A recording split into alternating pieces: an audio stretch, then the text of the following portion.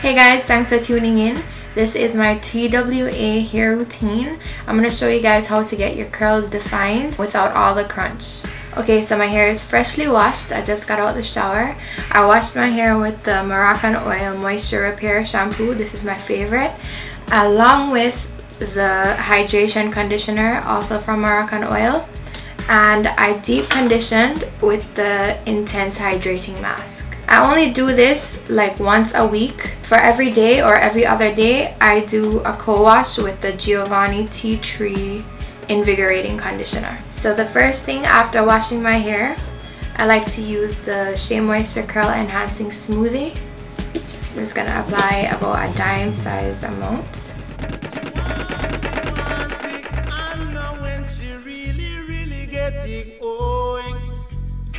I'm gonna seal that in with some argan oil and this one is by Agadir.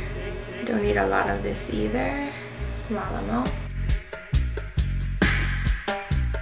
And this is one of my favorite products ever.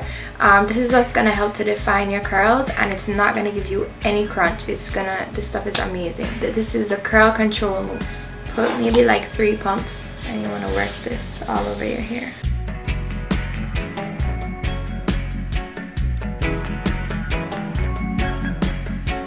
Alright, I'm just gonna go like this, which is gonna kind of bring your natural curl pattern out. You see it's already starting to define my curls. I like to go in and do finger coils throughout my hair.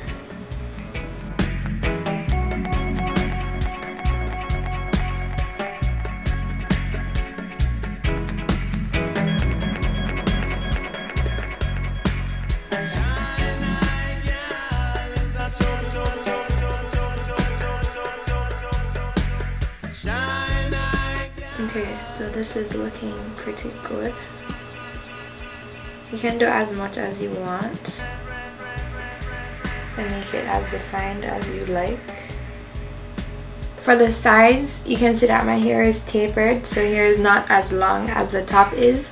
So that's where my gel is going to come into play. I'm using the Organics Olive Oil Gel, and I find that this one doesn't get as hard as some other gels do.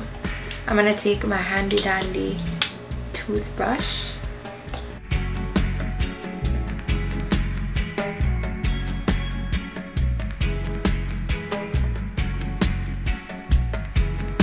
To finish off the look, I'm going to use my Moroccanoil um, Glimmer Shine. It's a finishing spray. It's like a light mist of argan oil and this adds amazing shine.